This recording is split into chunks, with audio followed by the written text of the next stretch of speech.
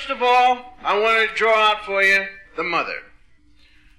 Mothers are beautiful. They are really beautiful. For one real reason. They cry for anything.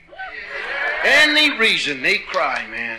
You could find a piece of wood in the gutter, a piece of old raggedy wood, just a piece of wood, and take and you don't even have to wipe it off.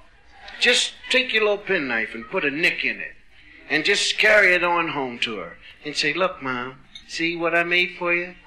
Your mother will say, "Oh my heavens, you made this for me. You just come here. I forgive you for everything."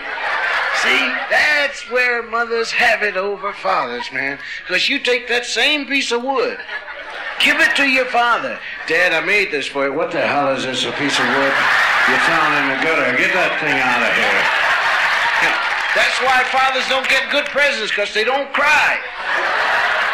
Huh? Father's Day comes, right? What happens? Every father's got to tell everybody, you know, today is Father's Day for crying out loud.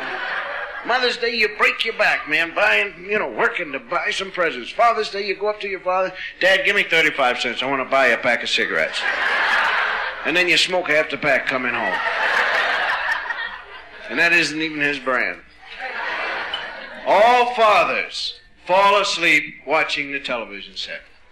Haven't met one yet that didn't fall asleep with one shoe off, propped up on the sofa, and just snoring. Three o'clock in the morning. And you come in the house and the television set's going. And you walk over and turn it off. Click. Turn it back on. I was looking at that. Dad, what are you talking about? It was Conrad. Leave him on. He's a hell of a detective. A mother's greatest weapon, though, is not crying. A mother's greatest weapon is her voice. Did I tell you not? If that voice was, is within 30 feet of you, it will decalcify your whole spinal column and you will drop to your knees and say, Please, mother, I'd rather you hit me than scream at me. Mothers always say, You're going to drive me to my grave. Fathers always say, I'm going to drive you to your grave. And the father's sound is different too, although it is a great weapon for him. Father's voice is. I remember the three of us as kids used to sit down and watch television, man. He'd just walk into the living room, 5'11, 230 pounds. Okay, man, everybody spread out. He's going to hit somebody. No sense in letting him get all three of us in one shot. Everybody spread out. Let's go, let's go. And he would always chase one kid. Come back here, come back here, which is a dumb statement to make. What does a parent really think? You think because you say, come back here, the kid's going to stop and come back and get killed? Everybody's not dumb. I've seen some dumb parents in my life, man. Dumb because they said to some kid, go get me something to beat you with.